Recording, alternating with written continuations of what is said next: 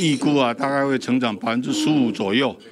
呃，整个的机械的产值会达到，预计会达到一兆五千亿。台湾机械业去年产值一点三兆元，创下新高，今年朝两兆元迈进。机械工会理事长魏灿文表示，精密机械、智慧制造、工业四点零、机械云及节能减碳等需求大增，加速机械业发展，订单能见度至少到第二季。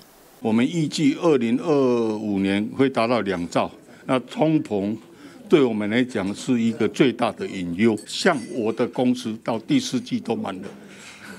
但是这不是一个好现象。你三月份的订单底类连锁效应，四月份、五月份到十二月份，你不晓得会延多多少，所以对于我们来讲压力非常大。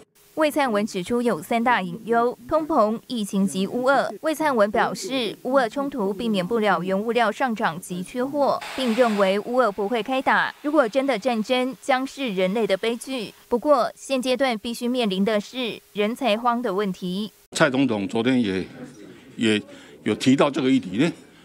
那我们要参照半导体学院，我们弄一个机械产业学院啊。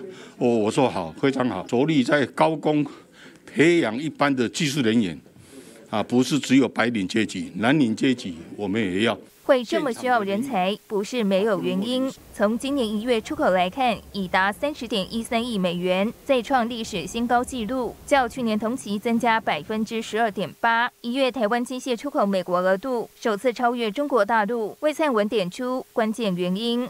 大陆是一个很不稳定的国家，哈。